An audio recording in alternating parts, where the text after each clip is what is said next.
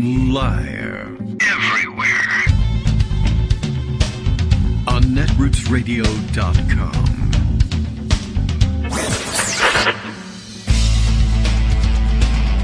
David Waldman. Kagro. In the mornings. Now, here's David Waldman. Hey, good morning, everybody. How you doing? It is Monday, October 17th, 2022. Time for a whole week of shows. Uh, well, at least uh, most of the week of shows. Uh, the housekeeping news for today. A small uh, break in the action for a long weekend that nobody else has scheduled as a long weekend. We got to see if we can come up with some sort of holiday excuse for doing this. There isn't one. It's just time to take one. We're going to take a long weekend that will keep us off the air this Friday and next Monday. So I'm already worrying Greg about this because, of course, this is the big release for all the weekend news for Greg, and he'll just have to. Uh, I'll give him a tin can with a string tied to it, and I'll take it with me, uh, another one like it, and we'll we'll pretend we're having a show. But uh, all right, you know, then we'll uh, schedule a big uh, catch up session for next Wednesday. But uh, break needed break being taken. We'll see what we can do to keep you company during that time. We might be able to hammer out one thing to keep you going that's all new, but uh, I don't know. Things are busy this week. I got meetings in between now and the time it's time to leave. It's um, many things. Many things are happening. Many people are saying I shouldn't make a show. Some people say this. So anyway. Lots to catch up on, of course, for this weekend. Greg already getting ready to do that. We'll get through the Raft O stories. That'll probably carry us through the balance of the week anyway, as we continue to discuss these things and they continue to develop. In this morning's news, oh, I don't know. There were lots of uh, Trump legal developments on Friday and over the weekend, and new stories coming out. I guess people are writing new books or excerpting their ones that are coming out now and telling us things that we should have known four or five years ago, but many of us actually probably had guessed them if we didn't outright know them four or five years ago. Anyway, um, more news on the, I don't know what kind of front would you call it. I, I see today that in addition to, uh, what's his name? Uh, Elon Musk getting ready once again to say, anyhow, that he is going to buy Twitter because I don't know what. He was upset with something and the way they were restricting his totally free speech or whatever. So he's going to buy Twitter and take it over and uh, remake it in his own image. Similarly, Kanye West, who now has had his uh, his account, I guess, uh, locked by Twitter and it was temporarily banned and had to remove his anti-Semitic tweets. He's looking for a new forum where he can be anti-Semitic freely and or, and or spend millions of dollars or I guess billions of dollars because that's what these things cost these days. Inflation has really jacked up the price of buying your own social media platform. He says he's going to buy Parler, the one that was originally built by right wingers at some point because they were upset that they couldn't be anti Semitic on Twitter or whatever particular infraction it was at the time pretty good bet that it was, you know, anti-Semitism or verging on it anyway. Uh, but Kanye West says he'll buy right-wing social platform Parler, according to the company anyway. I don't know whether Kanye West has actually said anything about it. I don't know how that sort of PR stuff works, but I guess this is the new pay per tweet model that Elon Musk was thinking of. But if you're a billionaire or thereabouts, then I guess paying per tweet is you, you write a tweet that's terrible. Twitter kicks you off and you pay for it by buying a social media platform, whether it be Twitter or some other one, and saying from now on, I'll be allowed to be anti Semitic or upside down and backwards or lie about uh, vaccines or whatever because I own the place. And then I don't know what happens after that. So, okay, that's the plan. Um, and who knows whether it really comes to fruition? Who knows whether the one Elon Musk keeps on again, off again announcing is ever going to come to fruition, or whether it's all just a big bluff to try and force the one that they're working on now, Twitter, to do what they want. So, okay, we'll see. I mean, it's entirely possible. It appears from all reports that Kanye West is mm, you know, having men- mental episodes with greater frequency these days. So, and I don't know whether, I, actually, I don't know whether that's evidence of his real intent to buy Parler or not. It's kind of a crazy thing, so maybe it won't happen because it sounds kind of crazy. On the other hand, because it sounds so crazy, it might really be Kanye West's plan, so who knows? It'll make no difference to me. Um, I'm not certain that Elon Musk buying Twitter ends up making a difference or not because, you know, he still wants to make money with it, I assume, and that probably means uh, allowing people pretty much to do whatever it is that they want, but I guess we'll have to do it among a larger volume of garbage. Uh, Parler will definitely make no difference to me. I'm not there, and I never plan to be there. So, okay. Speaking of technological acquisitions, that was a big story for the weekend, and I haven't yet seen whether it is in the raft O stories, but I'm sure we'll touch on it and perhaps spend a little extra time on it uh, after bringing it to your attention because it's uh, an intricate and entertaining story. But uh, apparently, over in where one of the uh, one of the startups that Trump has got uh, to uh, well, I think that the oh yes, right, it is Truth Social, the one he started. well, no, the one he became associated with, according to the story anyway, uh, as a replacement for Twitter. They still haven't let him on there, and I think that was Elon Musk's big thing. Well, I'll let uh, Donald Trump back on Twitter because it's so good for business. Anyway, as it turns out, maybe he thinks twice about it because of this rather lengthy article explaining just how difficult it is to be in business with Donald Trump, and that's um, one because he's a he's personally odious and no one wants to have anything to do with him. Two, because he's spectacularly famous for his incredible greed. And three, because he just doesn't really understand how to actually run a business. And when he has anything to do with the running of a business, he ruins it. So I don't know. Maybe it's something that uh, Elon Musk wants to think about. The big backstory in this was uh, that uh, to the limited limited extent that there's been any success whatsoever at Truth Social, Trump stands poised to ruin it by robbing the company and stripping it bare of all of its assets and splitting it up among his family. And that's not the way things normally work when you're trying to make a go of a business, but he's insisting on it anyway. So more details to come, but you've probably, you know, at least become aware of that story. And if not, why, we'll share all the details later on. Greg Dworkin is here with another raft of stories. That one, I'm sure, is among them. Good morning, Greg. How are you? Good morning. So, uh, I don't understand why Elon Musk simply doesn't buy the United Kingdom. That's probably like on really sale now. now. Yeah, you're right. Uh, there's the, their if revenues really are way a businessman, If he really had the business acumen that he claims, hmm. just do that. You know, he's good at renovating, and if he's good right. at renovating, why doesn't he buy Russia and fix it? That's a good question. I don't even know why he has to pay. I think he can just somehow turn on Starlink, whatever that means. I just see it said a lot, and uh, then I think he takes over. Yeah, you know, I'm not even positive he has to pay a dime. In uh, in United States, you know, you pay to buy things. In Russia, they pay you. I, something like that, I guess. Right? It's the opposite of whatever you're used to. So I I don't know, but uh, a lot of odd things going on we'll talk about politics a little bit. You know, there's always uh, politics to talk about. Oh yeah. But uh, I want to uh, start. Uh, we started with England. Why don't we finish uh, what's going on there? I want to give you a flavor of just how much Liz Truss's uh, support, mm-hmm. trust, if you will, has tanked. Oh, okay. Trust has trust trust trust, trust has tanked. Ranks. Okay um, and and nobody likes her. And I have to remind people, and thank goodness we covered it on the show, so it's not completely new, how she got there. Yes. Boris Johnson was a failure, right? Partly okay. because of COVID, partly because of his personality, and partly because of Brexit, the thing that they don't want to touch. Hmm.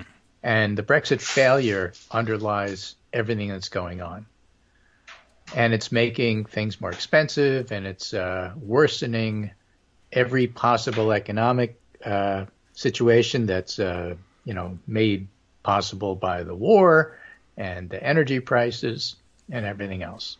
So Johnson gets booted out, And uh, like in this country, the different parties had different rules for leadership.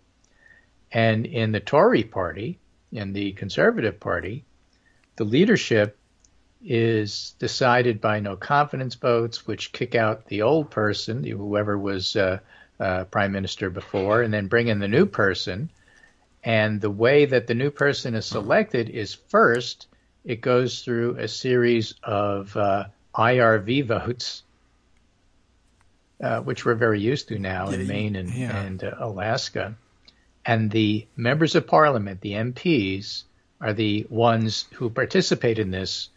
So the MPs pick the PM, that is to say, the new prime minister, who governs within their party because it's not an election, general election, it's simply party leadership changing.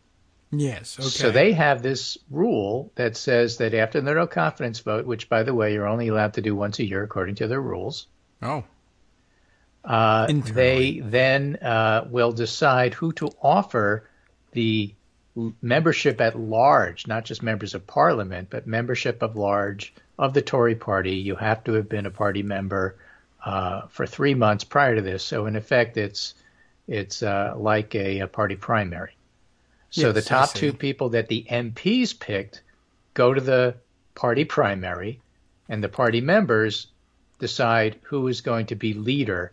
And because it's the Tories in power and they're only selecting whoever the Tory leader is, it doesn't go to the general electorate. Right, okay. And so uh, the members of parliament picked a uh, middle of the road conservative who is uh, supposedly good with finances, uh, Rishi Sunak, but the membership rejected this backroom deal. Oh my. And they decided that they wanted to go with Liz Truss. So that means the members of parliament never really wanted her anyway. Hmm. Not that there's any resentment and not that ever comes up in human nature. okay. okay.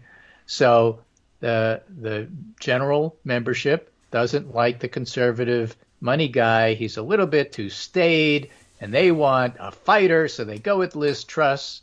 And Liz Truss uh, says, "Okay, what we're going to do is we're going to lower taxes on the rich." Sounds and uh, so you know people will love this, and it's basically uh, Reaganomics. It's Laffer curve stuff. Mm. It's trickle down economics, and the markets will love it. And of course, uh, because the, the uh, uh Russia-Ukrainian war right now, energy is at a premium, and Brexit has made everything more expensive. Inflation is rampant. And so all of this borrowing, which has to be done because you can't pay for tax cuts, not initially according to them, and not ever according to normal people. Right. Uh, the markets hated it and they tanked. And so within a couple of days, they're saying, I'll never change my mind on this. You changed their mind on this and rescinded the tax cuts on the rich. And when that wasn't enough, and people were still upset, she fired her staunch, closest ally, the oh. Chancellor of the Exchequer, who had come up with this scheme with her, and said, Oh, it's all Bad his scheme. fault. Bad scheme. Okay. And so now she's in the situation where the public hates her. Her own party members didn't like her, uh, the members of parliament to begin with, and they're the ones mm. that initiate leadership changes because she wasn't her first choice. And now, with the liberals leading by 30 some odd points in the polls, and them thinking they're going to get wiped out, which is probably true, they've turned on her. And so, in this conservative uh, uh, publication, The Spectator, I, I want to give you a, a sample of the headlines over the last few days. Fraser Nelson writing, Why Liz Truss Failed. Patrick O'Flynn writing, The spectacular fall of Liz Truss, the PM makes Theresa May look like a slick operator. okay. The Spectator. Isabel Oakeshott, the plot to put Rishi Sunak at number 10. Remember, that's the guy that the MPs wanted initially. Now, was uh, I, am trying to remember the way you said. I remember you mentioned him. Is was he the choice of the rank and file or the choice of the no, party he was leadership? the choice of the MPs. The the leadership. And the rank and file rejected that choice and went with Truss. I see. Okay. So the MP said, "Let's go back to our original choice. Let's get rid of her." I see. All right. And let's put the guy we told you you should have listened to us and you didn't, and let's put him in because he'll calm the markets. Hmm. The problem with that, of course, is they have this rule uh, by their 1922 committee that says you can only do a no confidence vote once a year. That's amazing. So you either have to persuade Liz Truss to quit, or you have to change the rules. They did not think that through that rule. I, I I was wondering whether they would decide, oh well, you can only do it once a year against a particular, you know, prime minister, and Well, then if out, you change so- prime ministers, right? No, you no, know, no. You can, only do it once a year according to the rules. yeah, that's so a lot of gonna have to change the rules. And can they change the rules? Of course they can. Whoever has the gavel has the opportunity, and the majority in that committee has the opportunity to change rules because it's a rule, but only as long as the rule stands. Mhm, Yes. I mean, Okay. That's uh, there are technicalities there, and there are subtleties there in our parliament as well as their Senate and House, or vice versa. But the fact of the matter is, if you don't like the rules, you can change the rules if you have the votes. okay. Right? Is the parliamentarian uh, always to be listened to? Depends whether you have the votes or not. I guess that's true. We could swap parliamentarians. You could swap if it goes. parliamentarian. You can do whatever you want. You want ours? You have the votes. And the reason that the Democrats are in the uh, uh, 50-50 pickle they're in right now is they can't get everything done that they want because they don't have the votes. Yeah. So uh, it, it turns out that because Liz Truss isn't that popular among the MPs to begin with, they have the votes. Hmm. Okay. Should so be exciting. Steerpike, who goes, I don't know what his real name is, but that's what he goes by in the Oh. Spectator. Also, why the Spectator? Because yeah, there's some liberal commentary too. It's important. You could read the Guardian, you could you could read Ian Dunt and some of the liberals, but the fact of the matter is that when the conservatives turn on Truss, it's telling you a lot more than when the liberals turn on Truss, because Guess that was so. going to be true like five seconds after she was uh, appointed. All right. So Steerpike writes in the Spectator, watch, first Tory MP calls for Truss to go. Hmm. So they were saying this uh, behind the scenes. Now they're saying it outright. And you have to remember, she's only been there a month. Uh, I didn't even feel like it was that long. Uh, yeah, it feels like a couple of days, but uh, you know, September 5th was the election, and then it took a couple of more weeks for her to actually be, uh, you know, appointed. Ah. That was the last visited with the late Queen Elizabeth. Hmm. Then we had to go through the Elizabeth funeral. Right. Everything stopped. everything stopped. And so it feels like a couple of days, but actually it's been a month. So a month is a long time, and a month isn't that long at all. It's a long time in terms of how it feels, but it's not long at all in terms of how long did it take for her to support the tank, and now they're talking about replacing her. Hmm. That's amazing. Ah, yes, that plus the rule that they uh, would only anticipate ever having to replace somebody once a year. That's an odd rule, but okay. It was 1922. They didn't know any better. Right. So uh, she wants to blame everything on the uh, Chancellor of the Exchequer, her closest ally, that she sacked because That's it nice. didn't go well. Right. right? And that was uh, rescinding the tax cuts on the rich. So she appoints in his stead a fellow named Jeremy Hunt, who is not an ally, who in fact Hmm. is from the opposite wing of the party, who thinks uh, fiscal stability is okay. He's probably a Rishi Sunak supporter, uh, if not openly, then then uh, in his heart. Okay. And so what does he do? He cancels almost the, all of the rest of her uh, uh, plans for the economy Oh, that she had announced just Well, a few know. days ago. is that important? Not really. So uh, Hunt canceled almost all tax measures in the budget, which haven't started yet. Uh, uh, one of the things that uh, uh, Liz Truss had done is to say, look, I know it's going to take a, a few days at least, if not months, to get everything straight. So while we cut taxes on the rich and the markets are in turmoil, we realize that you little people out there are suffering with winter coming and uh, economic uh, uh, doom and gloom because of rising prices, especially on energy. So we're going to freeze and cap energy prices, Liz Truss said. That's going to be Oh. part of the program. All right. And that's gone too. Oh, She had Oh. excoriated the liberals for uh, not going with her program. She wanted to freeze them for two years. And she said, Oh, the liberals are only going to do it for six months. You can't trust them. Little Hmm. people, you have to vote for us, not them. We're giving you something, they're giving you nothing. And Jeremy Hunt, the new guy, Chancellor of the Exchequer, said, "Now we're not going to do it for two years. We're going to do it for six months. oh. Exactly the thing that they had been attacking the liberals for. Well, I gotta say that seems so backwards. You would have thought uh, ordinarily the liberals would be for freezing those prices for longer, but they're well. Think of reasons. it as farm subsidies that uh, Trump gave Iowa. Ah, okay. Right. It's only for one thing. It's the election. We don't really care about it. The consequences are how long it lasts, how long as it lasts until the day after the election. Okay. All right. That's odd. Right. So Ian Dunt, the liberal columnist, writes, it's like watching a news item from another country, one of the countries Britain used to sneer at before we turned mm-hmm. into a complete basket case. The sudden urgent statements on market stability, the quivering sense of background anxiety, the desperate pleas. So the income tax cut on basic rate is gone, energy price guarantees lasting only until spring, dividends cut is gone. The only thing that remains really is, I think, a slight lowering in NI. That's national insurance. That's their equivalent to Social Security. All Otherwise, right. the whole budget has basically been scrapped. Hmm. A huge shift, a big shift. Jeremy Hunt only carrying out the energy support package until April. Review then. This was the big attack line from Truss to Starmer, Keith Keir Starmer, who is the uh, liberal head of the ah, party. Okay. I've uh, I've promised a two-year plan, said Liz Truss. Not anymore. So basically, she has nothing. She has nothing to offer. She doesn't know what to do. She can't explain it because she's terrible at press conferences, oh, and that's, that's why everybody's turning on her. Well, and not only that, okay. the Tories, remember, she's a, a Tory, she's a yeah, conservative, right. are saying, oh, look at what happened. She was going to subsidize uh, energy costs yeah. for the little people for two years. That was her manifesto. That was her plan obviously she's failing because she's a socialist. yeah, that's what I was thinking. Like, uh, what a strange thing for the conservatives to be doing. But okay. Well, well, now that she's falling, they're calling her out on it and saying, "Wait a minute."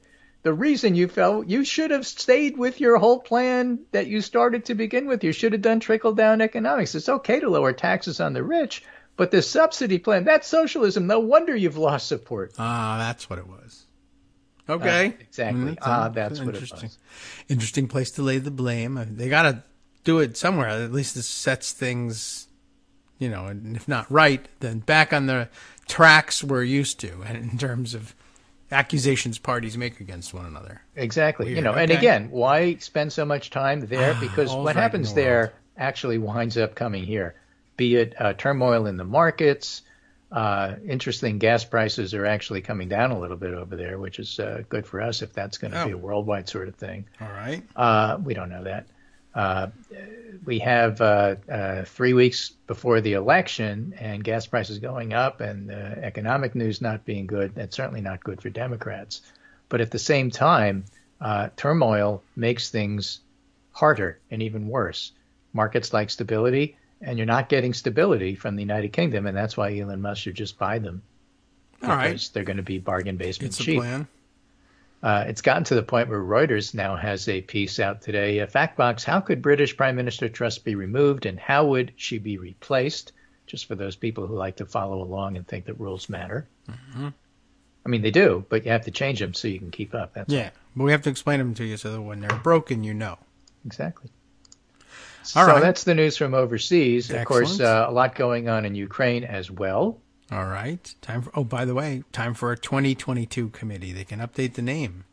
2022, they right? well, you know, things have happened so quickly and uh, so not expected uh, that maybe they need to. Maybe they need to yeah. revamp everything, but uh, they'll have time because they'll be in the uh, minority fairly fairly soon. Ah, well, that'll remember uh, January 2025 is the latest an election can take place. But if things keep collapsing like this, it's going to be a lot sooner. Probably have like six elections between. They don't. They don't want an election. The Tories. They have the majority right now in, in the uh, parliament and yeah, they don't they want to call an election, which they could do because it. they'd get clobbered. So they want yeah. to put it off as much as possible. But if you don't have a leader, you really have no choice. Yeah, I mean, whatever. Who knows about their system? But I, you would think that uh, yes, they would rather have a leader and rather have somebody. Clearly, the uh, internal election didn't settle it. So, how many options have you got? Internal, right. So external. obviously, the thing to do is to turn to the unpopular person that the MPs had selected, but the party members rejected because you know why not? I guess, or else Boris Johnson again. Well, uh, yes, and so all of those things are on the table because like nothing's working. All right. well, good luck. I don't know. Uh, how about King Richard? Bring him back. Uh, you should. Sure, why not? You know, Robin Hood, Robin for Hood? that matter. Yes, right. They were going. On. Why not rob from the rich and give to the poor? Sure, absolutely. Everyone likes that hat he's got. It's wacky. All right. Well, good luck to the good luck, United Kingdom. Have a great time. Right. Meanwhile, in the Good UK, luck storming the uh, castle. you know that's going on, and meanwhile, in Ukraine, Yes. uh, the, the counteroffensive, as it's being called, Hmm.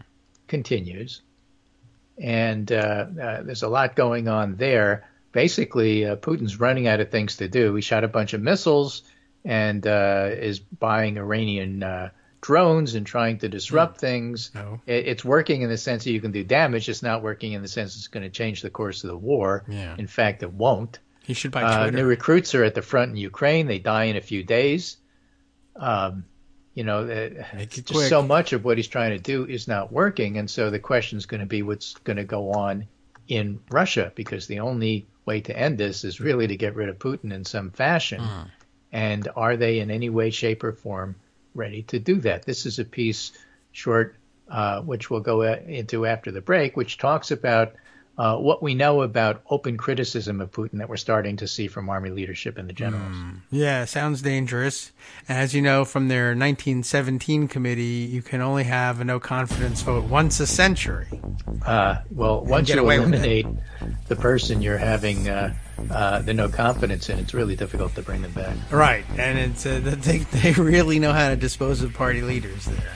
So it's about as hard as bringing back uh, King Richard, And then claim it didn't happen. Uh, right, that's a, that's another thing. They're very So good at that. It, it uh, complicates issues. All right, well we'll check in with uh, what's going on there in two minutes. Let's uh, make something up real quick.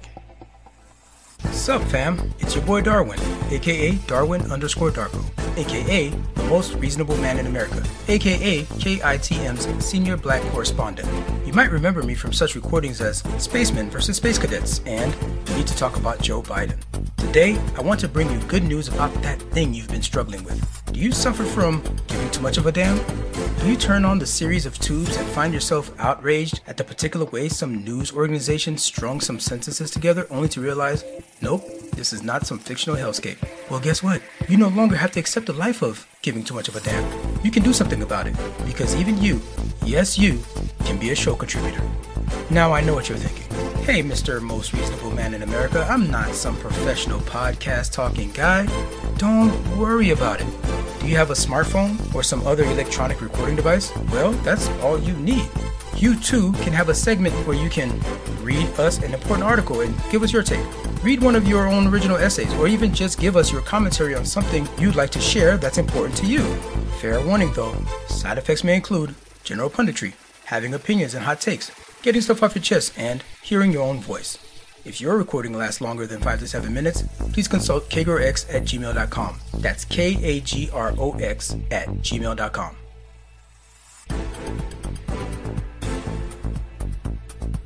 Welcome back now to the K the Morning Show here on Netroots Radio.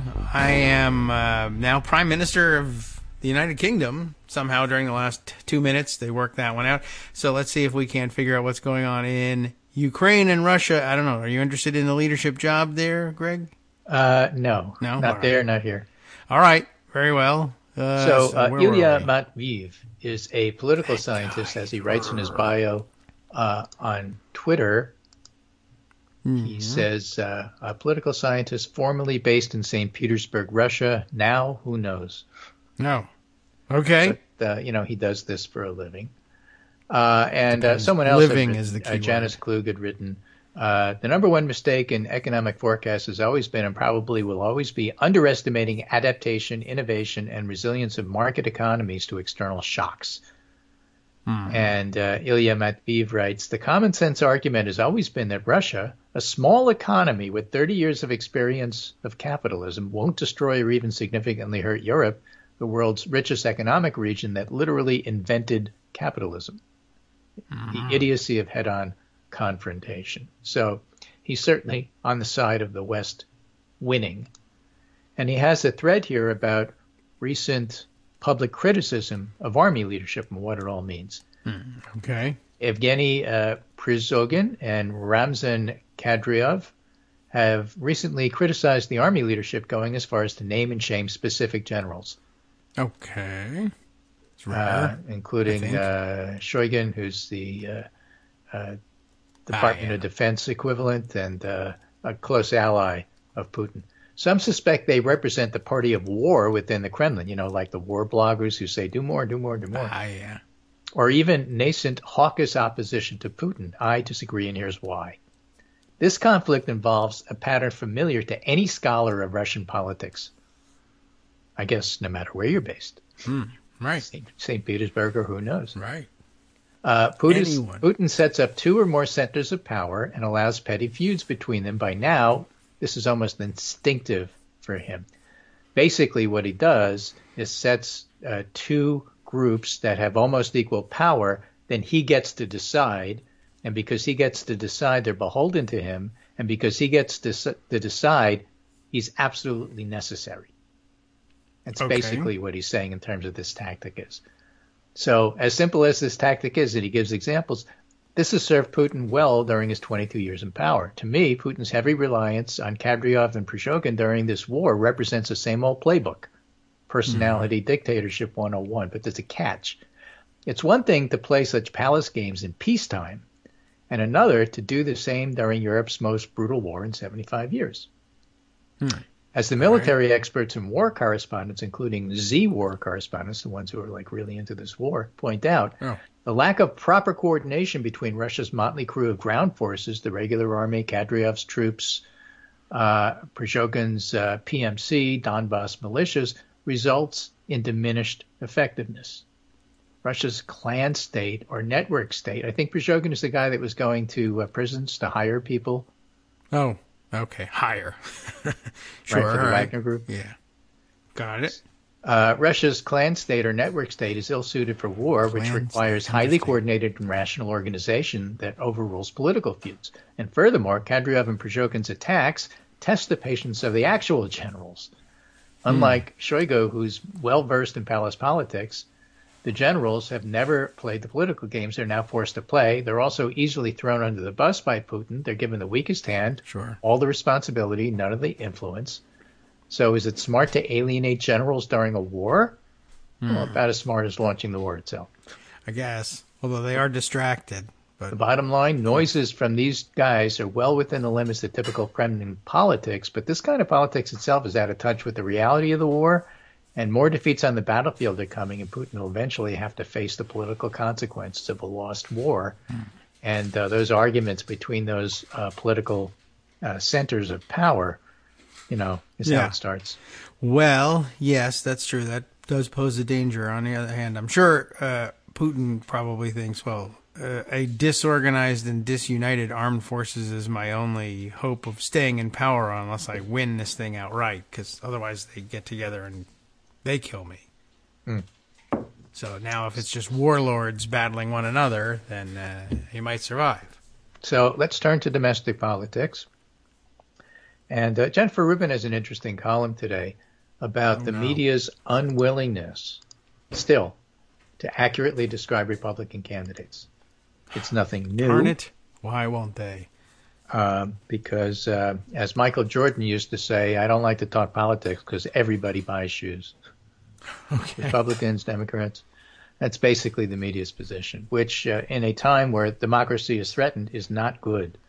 Uh, but as a capitalist institution dedicated to the bottom line, which is to say their own pockets, you kind of understand where they're coming from.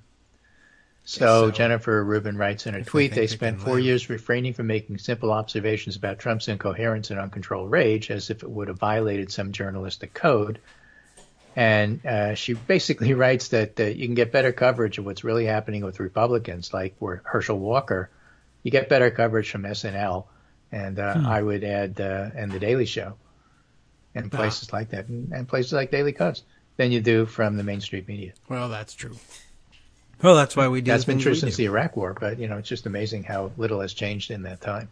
Yeah, and uh, the the model for uh, the papers themselves hasn't changed either. At some point, I think the the you know the capitalist model is supposed to, you know, also motivate them to think, well, you know, if we enable authoritarianism, we might not be allowed to operate a business.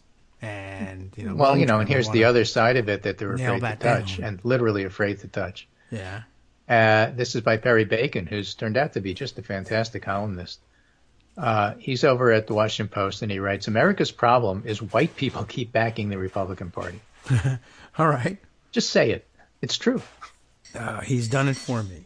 right? A clear majority of white Americans keeps backing the Republican Party over the Democrats, even though the Republican Party is embracing terrible and at times anti-democratic policies and rhetoric. Uh, whether it's uh, Kanye West's anti-Semitism or Donald Trump's anti-Semitism or anybody else's, which is now open because of all of the discussions and and uh, uh, public statements that uh, figures like those uh, two have made. Right. The alliance between Republicans and white Americans is by far the most important and problematic dynamic in American politics today. And if Okay. that's true, and I think it is, because Democrats can't win unless they get 40% of the white vote. We seem Get to be less than 40, you tend to people. lose. Get more than 40, you to win. Okay. Okay. Non-Hispanic white Americans were about 85% of those who voted for Donald Trump in 2020, uh, much larger than the 59% of the U.S. population overall. In 2016, white voters were about 88% of Trump backers. It's likely that white Americans will be more than 80% of those who back Republican candidates this fall. Political Yes, discourse in America continues good. to ignore or play down the whiteness of the Republican coalition. Journalists and political commentators constantly use terms like middle America, working class, soccer Hmm. Right. moms. This is an issue. Yes, right. Like, only white Right. In this year's campaign cycle, now. recently, apparently, uh, people of color, uh, black uh, families don't play soccer, according to this telling. Right? Uh, yeah, I mean, check the They don't world, work. but okay. They're not part of the union. You know, they just they don't exist. In this guess year's not. campaign cycle, recent articles in the Post and other outlets have highlighted Georgia Democratic gubernatorial candidate Stacey Abrams' supposed weakness with black voters, which is strange Ah. framing. It's likely that more than 70% of white voters in Georgia will back Kemp, but fewer than 20% of the state's black voters will vote for the incumbent. If Kemp wins re-election, it'll be because of white Georgians, not black ones. That's the same argument, Yes. by the way, that uh, uh, the press just keeps uh, mangling. Democratic interference in Republican oh, primaries got Yeah. Don Bolduc and other extremists elected. No, they were elected because Republicans elected extremists, Yes, I right? mean, and those that's that's primaries it. where the Democrats didn't have anything to do with what went on, they still elected extremists Yeah, but they didn't interfere. They should have somehow. I don't know. somehow. Yeah, I don't know. Right. Always a. Always, uh, even the results of a Republican primary are Democrats' vote. Okay, Republican voters sure. are not just white people without four-year college degrees. A group Yeah. uh, Trump won by 32 points in 2020. remarkable. I don't know what they're teaching at these colleges. That these are without four-year colleges, so oh, they didn't okay. learn. I don't know what they're teaching at these other institutions that they're not coming Right. to. School I guess. So that has been the common framing in much political commentary. The Republican Party, in fact, is the preferred choice of white people who describe themselves as evangelical Christians, whom Trump won by mm-hmm. 69 points in 2020. White people in rural areas, Trump by 43. White people in the South, 29. White men, 17. White Catholics, 15. White Protestants who don't describe themselves as evangelicals, 14. White people in the Midwest, 13. White women, 7. And white people who live in the suburbs, 4. These numbers come from post-election surveys. In contrast, the people of color in these demographic groups, Asian Americans without four-year degrees, black Protestants, Latina women, mostly favor Democrats. Hmm. So while the majority of white people with four-year degrees backed Democrats in 2020, about 42% of them supported Trump, he also won more than 40% of white voters in the Northeast and in the West. The main block of white voters that overwhelmingly opposes Republicans is white people who aren't Christians. Hmm. Overall, All right. Republicans win the majority of white voters, 55-43 nationally in 2020 in most elections, and being the party of white Americans has given and will continue to give Republicans two huge advantages. First, white Americans are about 72% of the electorate, 13 percentage points more than their share in the overall population. That is to say, white people vote at higher percentages than non-white people. Yes. White adults are more likely than Asian and Hispanic adults to be citizens. The median age for a white American is higher. Uh, older Americans tend to vote at higher rates. If the electorate mirrored the country's actual demographics and the groups voted as they did in 2020, Trump would have won only about 44% of the national vote, three points less than his 47. And that, that would be where I thought he, he should deserve to be, but that's not what happened. Well, I mean, that's overstating what I think he deserves, but I see what you mean. Second, the Electoral College and the Senate gives outsized power to less populated states. We know that, and they are disproportionately white. So perhaps the best way to understand American politics is an overwhelmingly white coalition facing one that's majority white but includes a lot of people of color. And so Democrats do a lot of white appeasement America. to address this Republican tilt, nominating white candidates in key races, moving right or white on racialized issues such as policing and immigration. And uh, that's why the press immediately said Mandela Barnes is not a good fit for Wisconsin. What do they mean by that? They're wrong. But That he's right. progressive? Or that he's black? Yeah, that's it. Progressive. Boy, do they they just hate. Well, uh that's that's a pretty stark example. But you know that's Rick. You know that's why uh, we said, look, uh, we didn't know that Mandela Barnes was going to be the nominee, but you know that defunding the police as a slogan is going to be used as a cudgel, as a shillelagh, Shillelagh. and is and it's going to be against All right. uh, black people. Uh sure, cuz you know, if you're going to hit somebody, that's that's where the history's that's the history tells you who's going to catch a beating. And because white people are likely to be the majority of voters for at least two more decades, America's in trouble. Across the country, GOP officials are banning books in public libraries, making it harder for non Republicans to vote, stripping black political power. The majority of America's white voters are enabling and encouraging the GOP's radical anti democratic turn by continuing to back the party in elections. Mm-hmm. It's not, as much of our political discourse implies, Democrats have a working class or middle America or non college vote problem. They have a white voter problem. And there's no sign it's going to go away anytime soon. Well, And so economic anxiety, racism. that's well, yeah. I mean, same Okay. thing. Fair enough. That was known for a long time. I'm thinking Yes. of uh But Yeah, but the- you know, people forget from election to election, and somehow it went away, and this, that, and everything. Nah, yeah. I'm thinking of all the uh, demographers and uh, Ruy Teixeira types who have been documenting the emerging uh, non-white majority in various places, and then eventually at some point, you know, I- the the scales tip at the uh, uh, nationally. Um, and uh, I didn't. I, you know, I have to go back and see how much uh, attention they give to the possibility that oh, all this may be for naught if we turn into a totalitarian or white minority rule state that simply makes it impossible for people of uh, people of color and other minorities to actually express their political preferences. We, we Well, didn't but count who is white and who is factor that not in. white at any given time is, oh, as they yeah, like to that's true, say, a construct. Yeah. And here's uh, an example. Brent Staples over at the New York Times uh, has a related theme. He tweets, Mm-hmm. uh, "Bear in mind that immigrants often adopt anti-blackness as part of the Americanizing process in the quest to become white people in good standing. Look no further than the L.A. Mm. City Council Ah. secret tapes that were revealed, Uh, forcing uh, yeah. uh, some who were in power Do look for uh, to uh, to resign Yes. Racist comments." Uh, you don't have to look that much further, but I encourage you to look further. So he gives some examples, and here are some uh, old books uh, with titles that are just really fascinating when you look at them. And I'll give you uh, some examples. Oh, if I haven't given you that thread, there it is. And if I have given it to you, here's an easy way to find it. And here's one example of the image of book covers over the years that he's found as an example. This one, Working Yeah. Toward Whiteness by David Roediger. The Strange Journey from Ellis Island to the Suburbs. Working Toward Whiteness How America's Immigrants Became White. All right. How the Irish Became White I see. is a different book. This one is by uh, Noel Ignatiev. Whiteness of a Different Color European Immigrants and the Alchemy of Race. Hmm. Uh, and uh, in 2019, the New York Times had an opinion piece called How Italians Became White. Right. because when they first came to this country, they weren't considered such. Right. Columbus Day story, tracking closely with that. How the Boston Irish became white.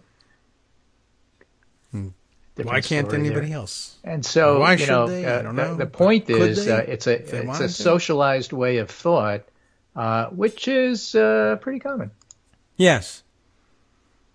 Well, I, I wonder how much of it has to do with uh, acceptance among the the original white people, realizing that they were losing their grip on on power and majority. You start to assimilate other people who are like, well, I think we can survive by making them white. If we grant them whiteness, uh, they'll come over to our side.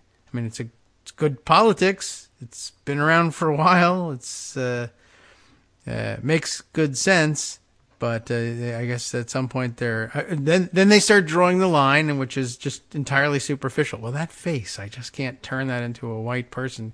Can't make it work. Sorry, uh, we're just gonna have to rescind your right to vote instead. That's So, uh, how does all of this play out in the election? Again, tough to know. We're kind of in a 50-50 election thing. The New York Times poll uh, today wasn't uh, from Siena wasn't great news for Democrats. It's uh, increasing salience Oh, of the economy, according to them. Although there's reasons to be skeptical about this particular poll, so as always, throw it on the pile, take the average, yada yada. okay. It's a likely voter screen. One of the things Oh, no, that uh, uh, that was picked up by Karen Tumulty in this particular poll, uh, which shows uh, movement toward Republicans. Uh, again, one thing she didn't say, one thing she did. The one thing she didn't say, which is something we've talked about, and that is that uh, things always quote tighten end quote as the election gets closer, as the Oh, I see. undecideds come off the fence. There are structural reasons why things tend to move toward Republicans in that regard. Uh, but as a likely voter screen, you know, we have the issue, of course, who is a likely voter. But one of the things that Karen uh, Tumulty picked up is looking at the crosstabs. One striking thing in the crosstabs, women are a dead even split 47-47 on the generic ballot, and only 5% of voters say abortion is their top issue. that seems Do you believe that? no. I don't either. That's why I'm saying I'm a little skeptical of the poll. Just put it on the pile. Okay. But you know, again, as we talked about last week, this is polar coaster time. Hmm. Oh, we got a good poll. That's great. Oh, we got a bad poll. That's great. Are the Democrats getting good polls still? Yes, they are. Uh, you know, oddly enough, uh, one of the things that uh, was striking is that when you get a bad poll for Democrats, it must be true, say the media. right. But if you get a bad poll for Republicans, obviously it's an outlier. Right. Sure. So here's that an outlier. Uh, the best pollster in the country, Ann Selzer, polled the Chuck Grassley race. Hmm. And uh, Grassley leads by three. That's a shocking result. Grassley was expected to clean up. Well, and, and Selzer says, well, what it says to me is that her opponent, Franken, Mike Franken, is running a competent campaign and has a shot to defeat the seemingly invincible Chuck Grassley, previously perceived to be invincible. So uh, that goes along with a bunch of other polls that we've had all season, uh, which do that. And then there's this focus group uh, from Axios. Pennsylvania swing voters aren't sold on a switch. Driving the news? Trump to Biden swing voters in Pennsylvania in our latest Axios focus group favored Democrats or split ticket midterm ballots, saying if Republicans retake power, they'll push a nationwide abortion ban and focus on revenge investigations against Biden and his party. Yeah, Driving the news, these are the major takeaways from our two focus groups. Why it matters, these voters' disappointment with Biden and the economy and rising anxiety about crime aren't persuading them to embrace Republicans. How it works, all 13 participants voted for former President Trump in 2016, Biden in 2020, six registered Republicans, six Democrats, one independent. And while a focus group isn't statistically significant, the responses show how some voters are thinking and talking about current events. And uh, nine out of the 13 favored Fetterman, and eight out of 13 preferred Josh Shapiro. Okay. Just What they're saying, I've seen what happens when celebrities become in a position of power. I didn't Oh. enjoy it. Yeah. Uh, Some question Oz's true. allegiance to Pennsylvania. and why not? He doesn't live there. Uh, some people are worried about Fetterman's health. Bob Yeah. G., a Republican who said he's not a MAGA Republican, wants to see his party separate from Trump and gets nervous about who's driving the GOP agenda. He's backing Oz because of the economy, but Mastriano's extremism is so troubling that uh, he'll vote for Shapiro or nobody. Huh. So the bottom line, while specific issues matter to these Pennsylvania swing voters, a larger consideration seems to be the candidate character. Think Georgia. In the case of the Senate race, it's also which party will be in control in 2023. So uh, there's just so many different cross currents. That's why it's so hard to figure out what's going on, despite and uh, because of polls like the New York Times, they're quite properly picking up increased anxiety about the economy. How that turns out in the election mm-hmm. is a function of who turns up, and we don't know that yet. Hence yeah. the whole thing about likely voters this year. So I'm not just saying, oh, you got to be careful of likely voters because I don't like this poll. I'm saying you got to be careful of likely voters because we've been saying it for a month. True, and yeah, this came the the poll came after the warning, so fair enough. We were warned warned ahead of time, and then now we don't know. And also, I think uh, I saw some complaints about the sample size of the thing, which is a well, obviously complaint, that. okay. You know, people All say right. that when they don't like polls. Yeah. Okay. Well, they didn't. So they didn't like this one, so they said that. I mean, it wasn't a very good poster. Tiny. Nate Cohn is a very good analyst. Okay. And the poll says what it says. And uh, you know, you look at the cross tabs and wonder a little bit.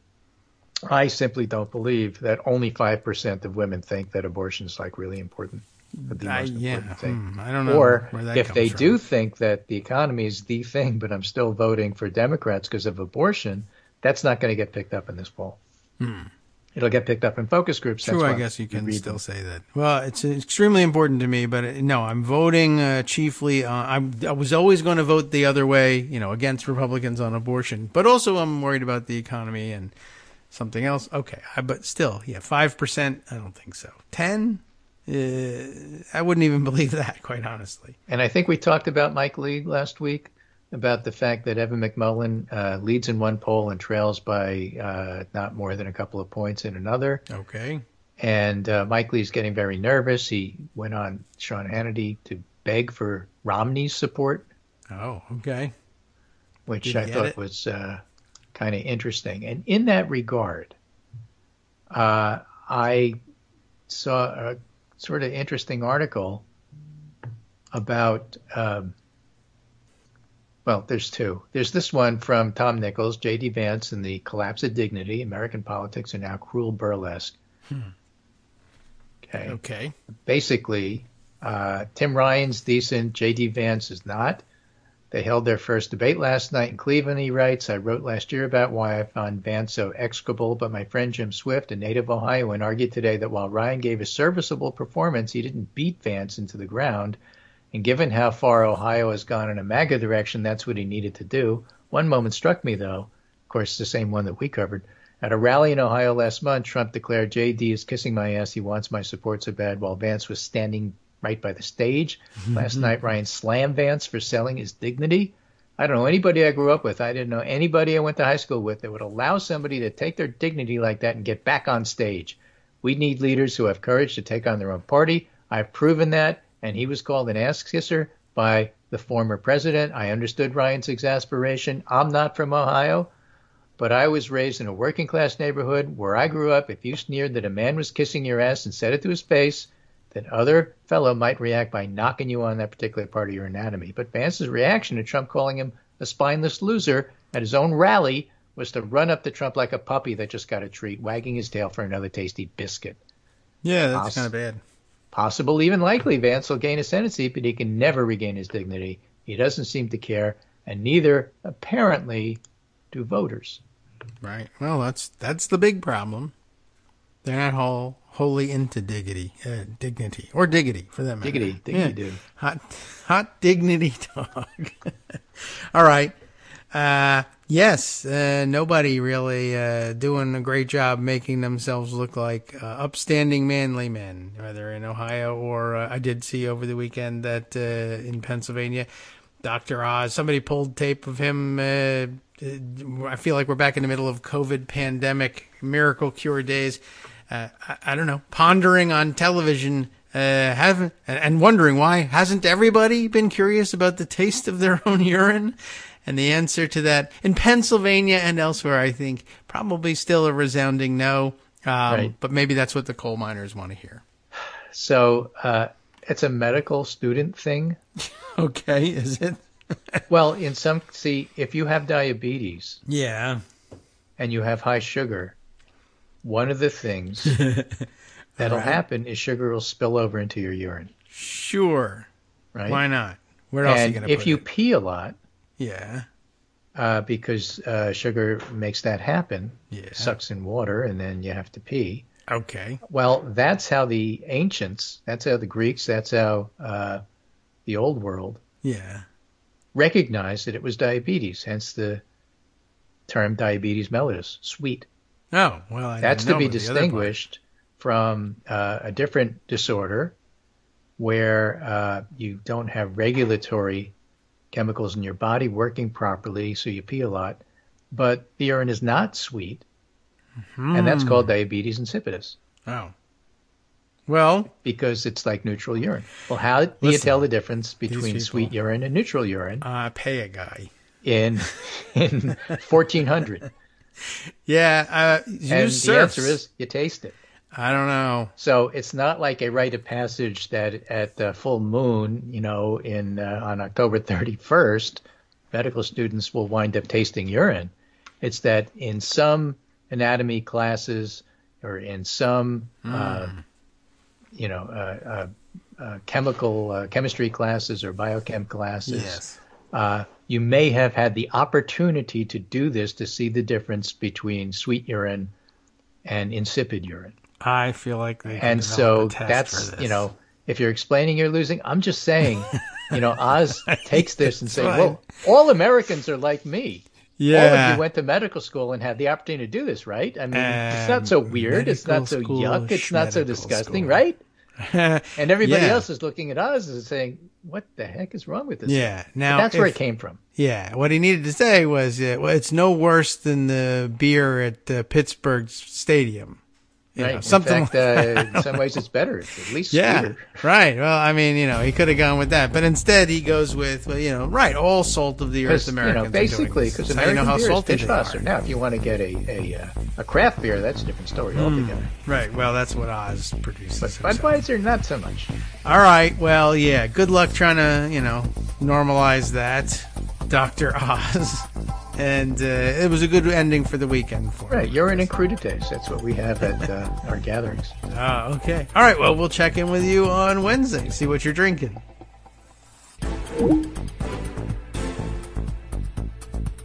All right. Welcome back now to the Kagro in the Morning Show here on Netroots Radio. I think we engineered the exit properly at this point, but uh, yeah, sometimes when uh, well, Greg was hanging up, we had so much fun with his uh, departure on Thursday, and everybody enjoyed that. Um, and he timed it correctly this time, but sometimes he uh, hangs up, and instead of making the straight hang up sound, it just tells Skype that some there's no longer any connection, and Skype tries to reconnect, and it makes a totally different sound, and that's definitely not his fault. All right. Well, uh, now we have an explanation for why Dr. Oz, at some point in his long career, not political career, but television uh, career, actually voluntarily brought up the fact that he had, uh, that he, because he was a medical student, uh, had taken the opportunity to taste his own urine for reasons because, you know, the ancients had to do it. Nobody has any kind of test now to tell you what's in your urine without actually drinking it. Why would you develop such a thing? Uh, but doesn't everybody like it? Doesn't everybody have a little bit of curiosity about that? And I'm I'm thinking that even among medical students, there's probably a significant contingent that just say, you know what, never mind. I'm just not going to, I will use one of those test strips and that'll tell me whether it's sweet or not. And quite honestly, I don't need to taste for myself or double check the work of the, uh, the, strip here. Uh, I'll just let the, the technology take care of things. But it's interesting for him to think that everybody had the same natural curiosity. He didn't even have to be a medical student. He was going to, he was to take a drink regardless, apparently. He's just super curious about this lovely stuff that he just can't wait. All right. Well, anyway, so I'm not saying we all have to, yeah. All right. Well, uh, I, I don't know what's up with the guy, but uh, at any rate, it's not the sort of thing I would recommend forget the medical part of it. Like, okay, if it's uh, part of medical training, it's part of medical training. I'd leave it behind afterwards and maybe not bring it up again. But he probably at the time he brought it up on the air, he had no idea he would be running for Senate because that sounds like something he came up with overnight one day and said, hey, you know what? Whatever. I'm famous. Uh, I have lots of money I could burn. I could turn that into political power. All of a sudden, I realize I want to have political power, so I'll go and do it. But yeah, uh, I mean, um, political consulting wise, I'd probably say, yeah, not really the sort of thing that I think you're going to find a lot of common ground with or, or lots of, uh, uh, the, the MAGA Republic, although, you know, they'll say anything. I mean, if Trump said, yeah, I drink my own urine, they would all be drinking their own urine. I, I don't have much doubt about that. But I don't think Dr. Oz has that kind of clout. And uh, I'll tell you what, I mean, he, he didn't pull the tape himself, right? He didn't go around saying, you know, what's really going to, you know, help me get across the finish line is I'll tell everybody that uh, I'm interested in, was interested, still interested in tasting my own urine, and we all know you are too. So here's this clip. But, uh, uh you know, I don't think it's going to make or break the election. It just happened over the weekend, and don't think it's going to help a great deal. And, you know, again, if you're explaining that, if you're explaining you're losing, if you're explaining urine drinking, I think you're definitely losing. So there we are. All right. Let's see. Other stories that may or may not involve urine and what to do with it. I don't know. This is the uh, interesting story that I kicked off with because I spent some time reading it over the weekend. Washington Post was reporting it. It was an exclusive at the time. I don't know whether the exclusive has run out. I don't know whether our author here, Drew Harwell, has ever tasted his own urine, had any interest in doing so. Uh, whether he is, in, for all I know, Dr. Oz is interested in sampling a flight of urines from several of his own colleagues or patients. Uh, maybe the entire panel, maybe the entire audience of his show. And uh, I wonder where it was that he was he on his own show when he said that. And was it were they discussing that? I wonder how. I do wonder what the context was. And then why not everybody in the whole audience? Everybody pee in a cup, and I'll test it for you. Yeesh. Anyway, this has nothing to do with that. This has something to do with Donald Trump, whose hair is the color of urine, but we don't know why.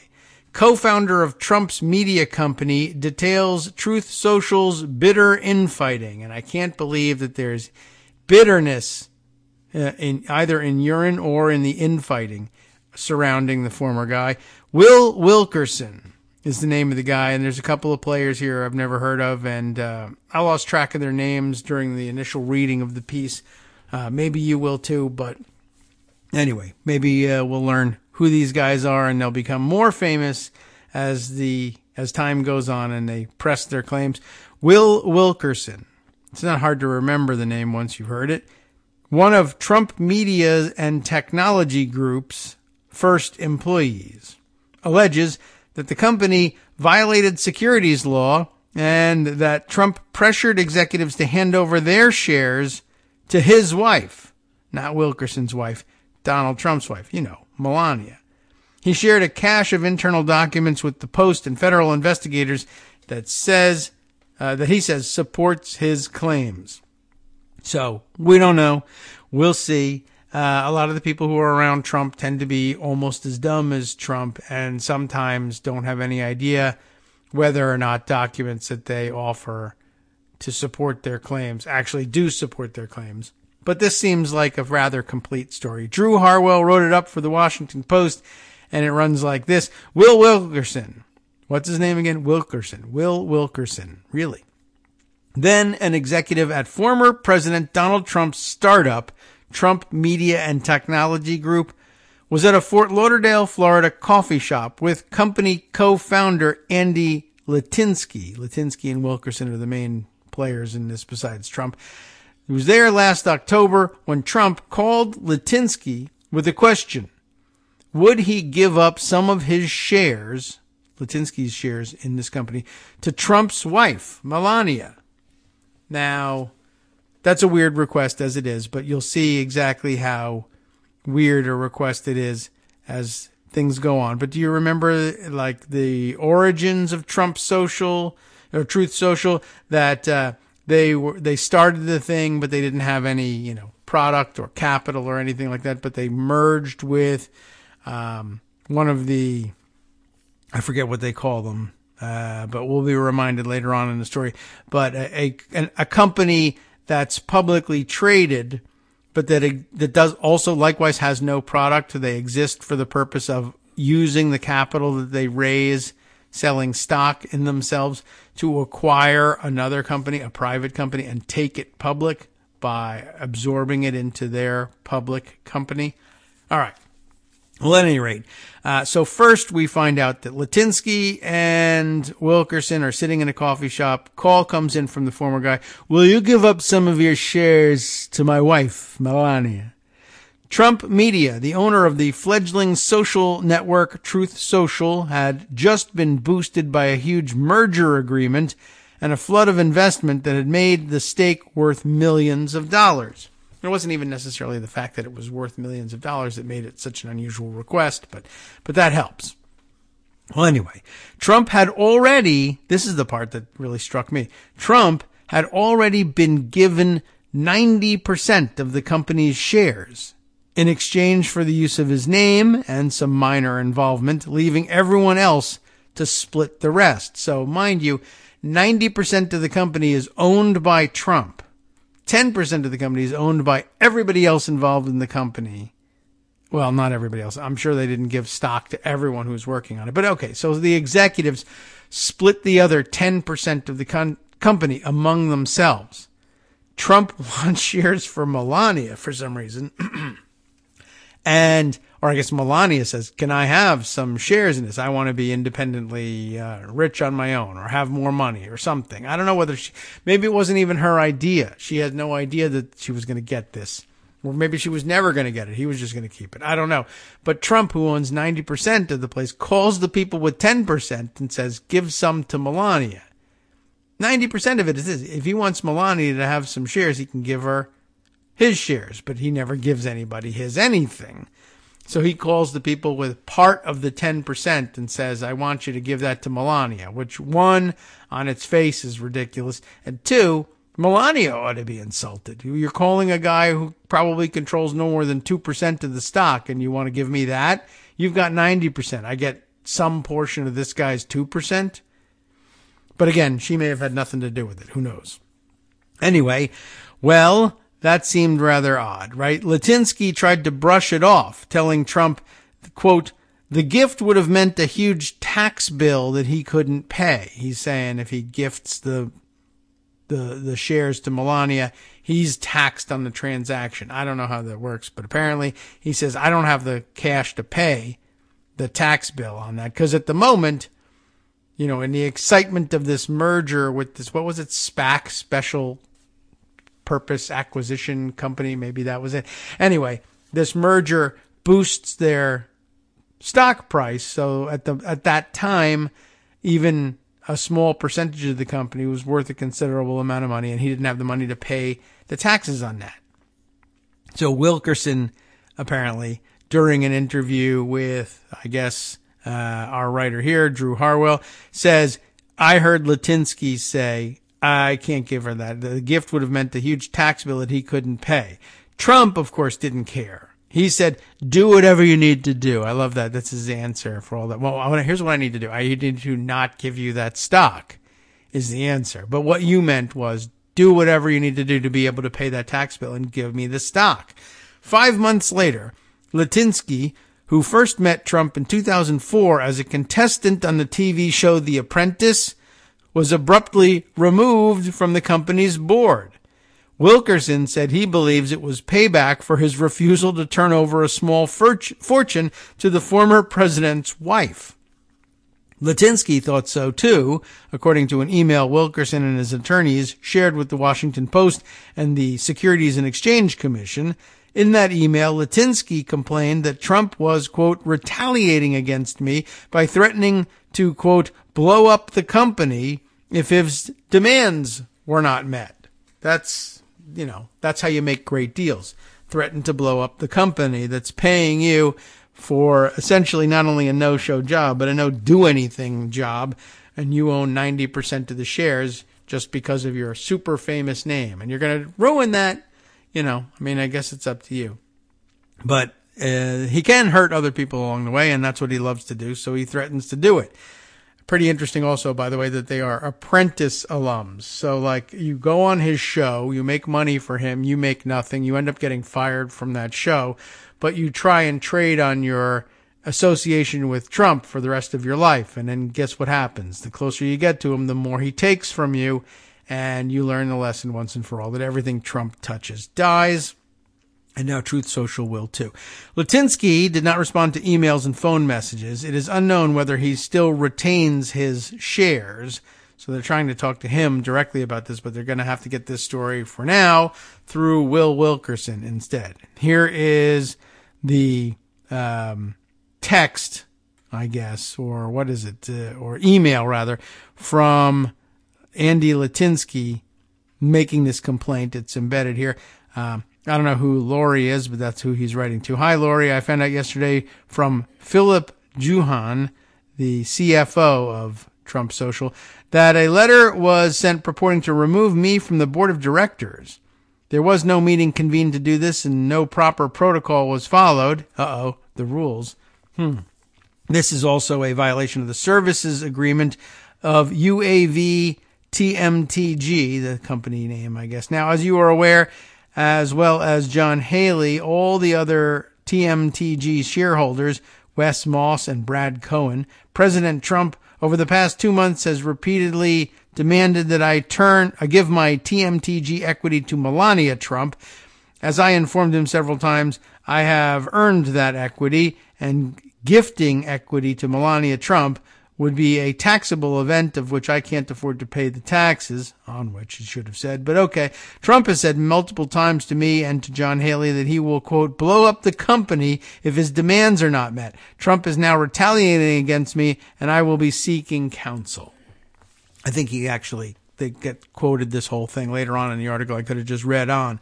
The email, one of hundreds of previously unreported company messages, documents, photos, and audio recordings that Wilkerson has provided to the SEC in connection with a whistleblower submission, reveals a stunning, hmm, not if you know him, stunning portrait of the animosity that has built up inside Trump media since its high profile debut last year. And by the way, if you want to take extra glee in this, remember how much money Marjorie Taylor Greene uh, invested in this thing because it was a sure winner and they were going to be going public soon and Trump's name was associated with it and she put her uh, you know a significant chunk of money in it and now uh, the stock is tanking. So hooray for that. Promoted as the centerpiece of Trump's post-presidential business ambitions which has now collapsed. The company has marketed itself, had marketed itself as a budding media empire with enterprises planned in social media, video streaming, live events, and online payments.